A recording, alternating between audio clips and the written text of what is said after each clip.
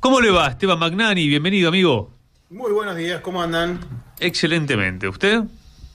De lujo. Acá un poco preocupado con la lluvia porque tengo que ir a La Plata ahora. Sí. Bueno, pues está tranqui igual, ¿eh? No, no va a llover mucho más.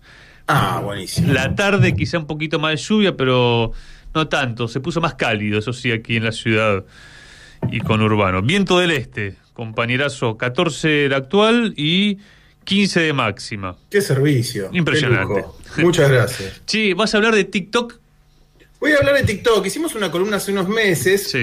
Fue poco antes de una novedad bastante relevante que es que el gobernador republicano del estado de Montana, Greg Gianforte, impulsó y logró que se aprobara una ley en mayo prohibiendo el uso, descarga y acceso a TikTok en todo el estado de Montana.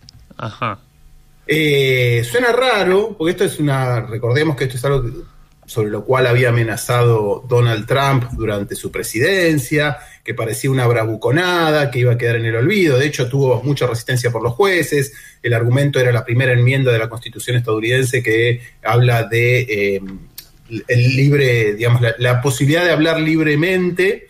Y eh, parecía que iba a quedar nada. Luego, cuando Biden asume, retoma esto, se transforma en una cuestión de seguridad nacional. El uso de TikTok por, bueno, las cosas que venimos hablando siempre en esta columna, la cantidad de datos que se acumulan sobre la población estadounidense, les parecen al Estado que son sensibles, en tanto se acumulan en servidores de una empresa china, que además tiene, según siempre desde el punto de vista del gobierno estadounidense, estrechos lazos con el Partido Comunista Chino, es decir, que se transforma en un problema de seguridad que el Estado chino sepa sobre eh, los gustos de los jóvenes, que sepa por dónde se mueven, de qué hablan, cuáles son sus intereses y que además, eh, digamos, TikTok se transforma en un vector para aprovechar en campañas de desinformación. Vos retocás un poquito el algoritmo y podés seleccionar qué tipo de mensajes le llegan a quién.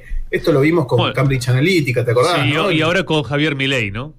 Claro, bueno, el, algoritmo de TikTok, eso es una muy buena pregunta para hacer, que obviamente no vamos a tener una respuesta definitiva, pero evidentemente al algoritmo de TikTok le encantó eh, Milei.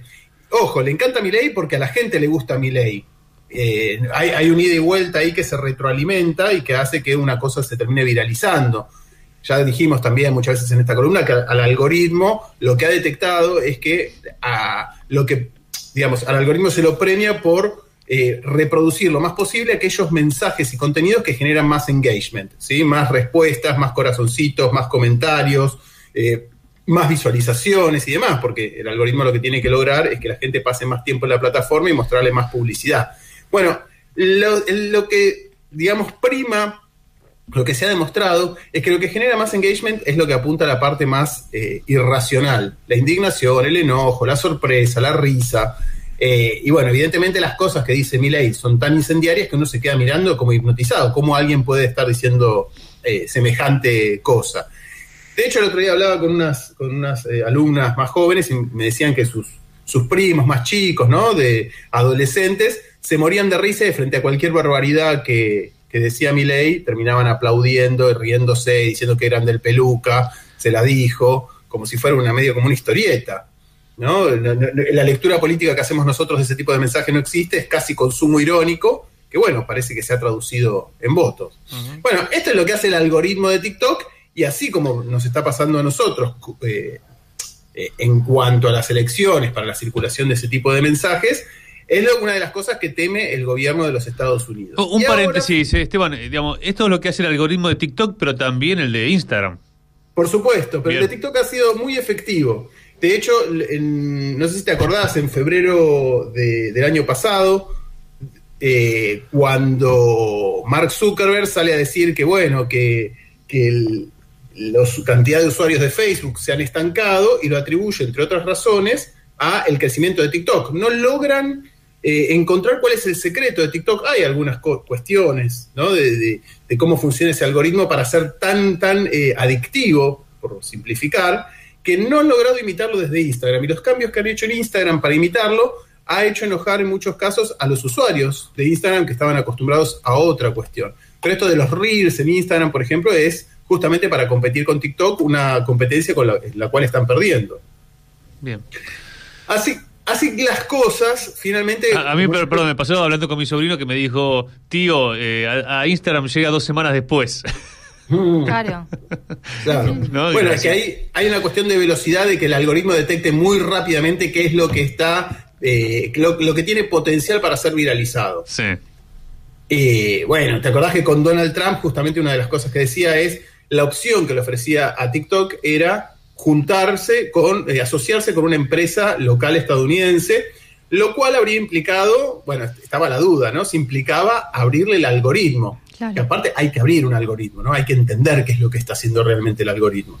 Eh, Oracle y Microsoft se, ofrecieron, pero finalmente eso no prosperó porque lo más probable es que un algoritmo es prácticamente un arma de guerra en este momento. Es un secreto, es la fórmula de la Coca-Cola. No podés revelarla así nomás y mucho menos a un competidor. Así que eso no prosperó.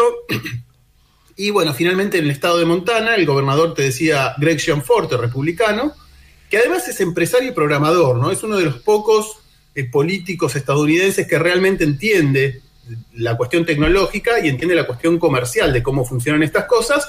Dijo que su objetivo era proteger los datos personales y privados de los montaneses para que no sean acumulados por el Partido Comunista Chino. Bien. ¿Sí? Clarito y al pie.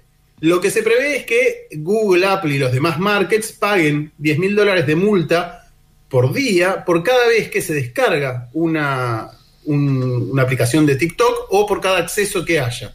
Es bastante rudimentaria la ley. Primero que todo nos dice cómo cuerno se va a comprobar eso. Porque justamente si algo sabemos es que estas grandes empresas funcionan como cajas negras. Son ellos los únicos que tienen la información acerca de quién usa qué.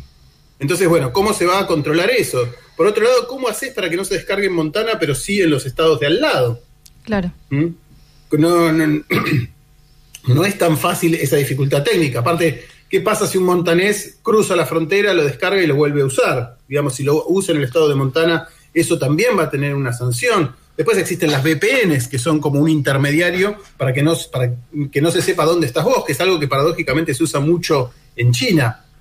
Entonces... Y también, eh, ¿cómo convive esto con la libertad del ciudadano de si, si quiere que sus datos los tenga el Partido Comunista de China y decide tener TikTok? Digamos, ¿cómo haces eh, para... También y me acuerdo porque en Canadá justamente hubo en el momento de la pandemia movilizaciones muy fuertes en contra del uso de barbijos y de la libertad individual y de todo eso, ¿no? Digo, ¿cómo...?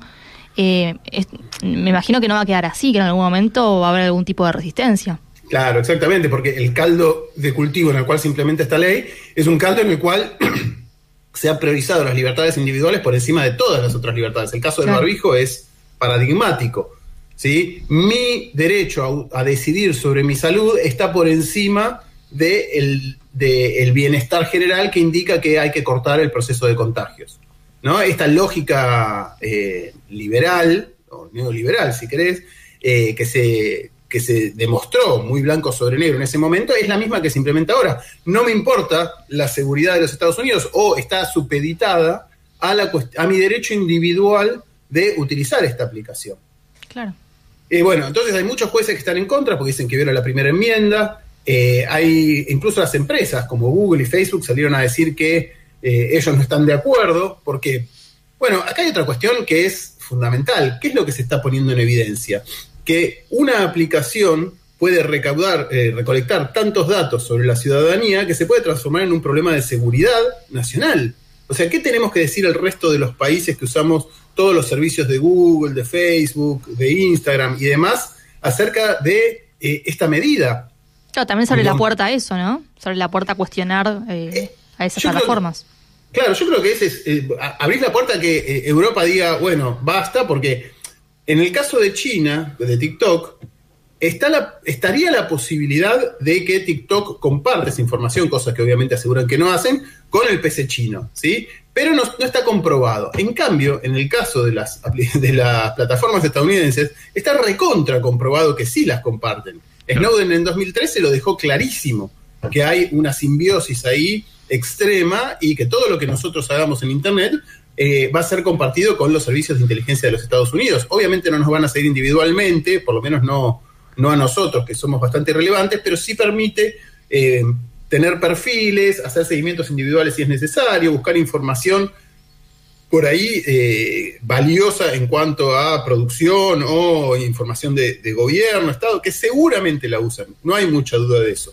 Entonces, se abre una puerta que es por demás peligrosa. Y lo otro es que, bueno, justamente con lo que decíamos antes, muchos de los jóvenes consideran que TikTok es un consumo al, eh, al cual tienen derecho y eh, esto puede tener consecuencias electorales bastante, bastante fuertes.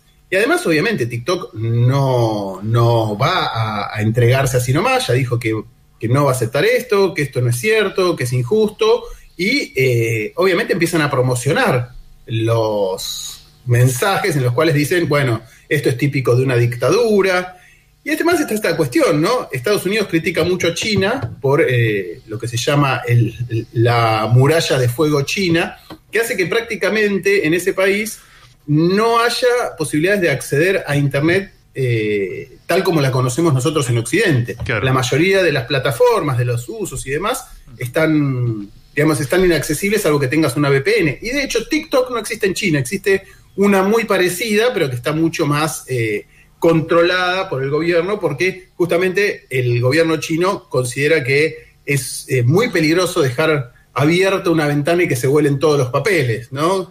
Eh, entonces tiene un control muy riguroso sobre qué es lo que circula dentro de ese país. Lo cual se puede ver, obviamente, como una restricción eh, semidictatorial, y por el otro lado se puede ver como una forma justamente de evitar que te empiojen todo el tiempo tus posibilidades de construir algo, que es lo que está pasando en, en el resto, en, en Occidente.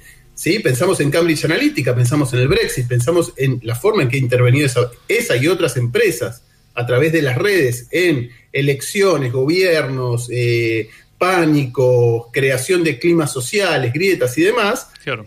hacen que, digamos, obviamente, sumado al, al, clima de descontento general que produce el neoliberalismo, eso se vuelve una, una, olla a presión permanente, que es en la que vivimos y la que nos tiene tan, tan desgastados y hace que alguien diga, bueno, que se vaya toda la mierda voto al, al, que está más loco para que de una vez por todas se termine esta tensión. Claro. Excelente, ¿eh? excelente para, para pensar en corporaciones o planificación a través de la dirección de, de un partido. Gracias, Esteban Magnani. Un fuerte abrazo, amigo.